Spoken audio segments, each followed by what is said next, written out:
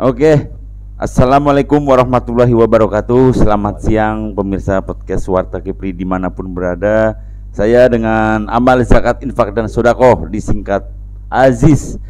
Kita kali ini kedatangan tamu dari jauh-jauh dari Tanjung Pinang. Dengan siapa beliau? Ya inilah founder kedai kopi Abu Dhabi, Pak Nasru Caniago Esa. Assalamualaikum. Waalaikumsalam warahmatullahi wabarakatuh. Sehat Pak founder? Sehat Bang Haji. Alhamdulillah. Gimana ah, untuk bisa diceritakan nggak ah, terkait sejak berdiri ah, sekilas saja. Oh, Intinya aja sejak berdiri tahun 2018 silam hingga sekarang ini Pak founder udah me- mengembangkan usaha itu sampai 11. Boleh diceritakan dari Oke.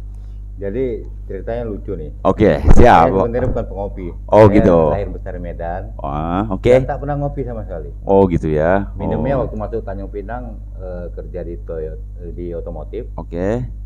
Minumnya kalau gede kopi minum TO. Oh gitu ya, oh, mantap sahabat podcast. Ja- Nah. Ternyata Pak founder ini tidak suka kopi malah. Awalnya. Sekarang jadi founder kopi luar biasa. Terus lanjut.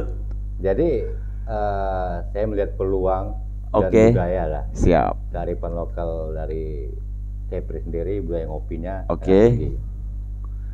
Nah di situ saya tertarik untuk membuka usaha kedai kopi. Siap. Tapi yang namanya usaha tidak bisa eh, sampingan gitu. Hmm, Jadi harus keluar dari satu pekerjaan. Saya Ya. tinggalkan dunia otomotif. Saya Fokus. Siap. Ya awal ngeracinya apa ya? Trial errornya banyak. Oh gitu ya. Buat rasa sendiri Siap. Siap. dapat. Siap. siap. Jadi banyak-banyak eksperimen yang sudah dibuat hingga Mhm. akhirnya dapat satu Mhm. racikan Oke. yang menurut bukan menurut saya, Hmm. menurut pelanggan Hmm. cocok. Wih, mantap. Oh. Jadi kita bukan bukan menurut kita enak, menurut Oke. pelanggan enak, Hmm. baru itu kopi bisa kita pasarkan. Oh siap. Itu dukungan dari keluarga sendiri seperti apa sih? Keluarga sangat sangat mendukung karena Oke. apalagi terutama istri Hmm. ya semenjak berkedai kan seharian di rumah. Siap. Siap. Nah dulu kan berangkat ke Jakarta, eh Mhm. keluar kota terus sering kan. Hmm. Siap. Nah itu berdirinya 2018 saya rintis.